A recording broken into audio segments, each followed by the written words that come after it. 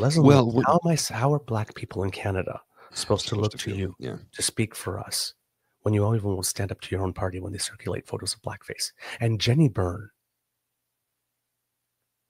how dare you circulate photos of blackface pretending that you're doing it because you care about us? Yeah. You're a political strategist. You're like one of the political strategists of the last like 15, 20 years in this nation. And you know goddamn well what you're doing. Of course she does.